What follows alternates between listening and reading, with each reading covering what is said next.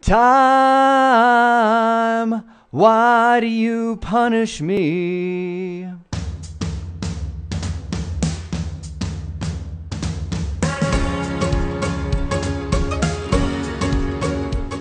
All right, come on, who is that? Hootie and the Blowfish, of course. Respect the classics, man. Disney cars.